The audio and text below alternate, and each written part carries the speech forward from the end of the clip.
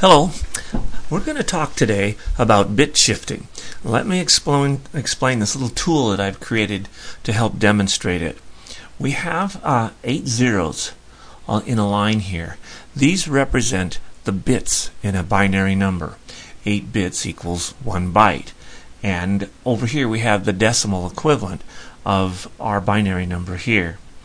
I've uh, got a symbol up here, which is the same symbol we use in our sketch when we want to shift bits to the left, which we'll demonstrate here in just a minute.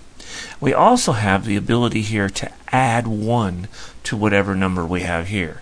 So for example, if I add 1, the 1 appears here, its decimal value is 1. Shifting bits involves just moving everything over a notch. You can see it here in animation all the zeros move over the notch, our 1 has moved to this next position, and another 0 has been added. I can put a 1 in there. I can shift them again. I can put a 1 in there. All I'm doing is adding 1.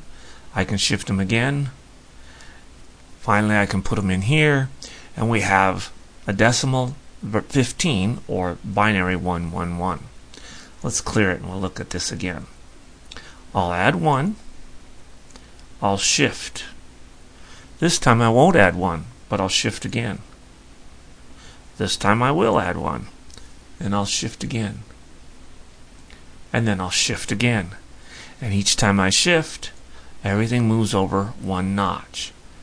I can add 1 here, and so now we have the binary number 0010 1001, which is equal to decimal 41.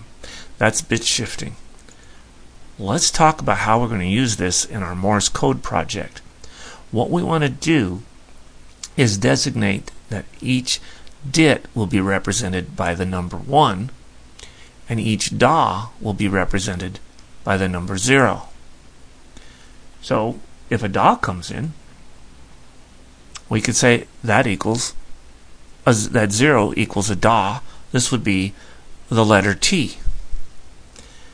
However, if we get two dahs, that would be the letter M, we still have the value 0 here. If we go to the letter O, which is 3 dahs, we have a problem. It's always equal to 0. And in fact, if we asked Arduino to decode all of this, he wouldn't simply say da da da. He would want to say da da da da da da da da. So we have a solution to this problem. And that is when we start to receive a character, we're going to put a 1 in here, and it will be what we call a start bit. That's this green one. When we look at our our Morse code and try to decode Morse code from our binary number, we will ignore all of these leading zeros. They're not dahs. And we'll ignore this first one. It's our start bit, so it's not a DIT. So let's take a look now at how we would send the letter T. We've got our start bit. In comes a dah. There it is. We've got a zero. This gives us the letter T. But if it's not a T, maybe another dot comes in. We'll shift again. Now we have all these zeros that we can ignore. We have a start bit that we can ignore. And we have two dahs, which is the letter M. And one more step here, we go to the letter O. We would shift, ignore these, ignore the start bit. Three O's is da, da, da. That's the letter O. Let's try something that has dits and dahs in it. Let's look at the letter R. First, we put up a start bit. When the first dit comes in, we shift everything and add 1. 1 is a dit. When the da comes in, we shift everything, but we don't add, because 0 is a da.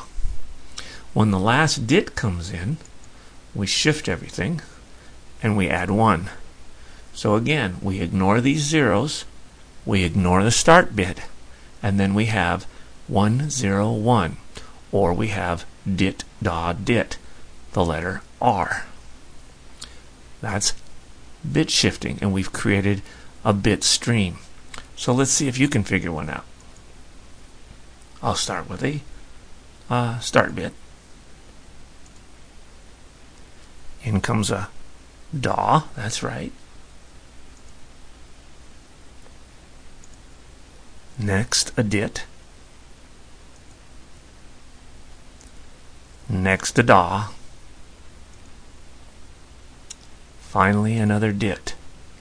So we have, ignore these, ignore the start bit. We have DA, DIT, DA, DIT. The letter C. That's bit shifting.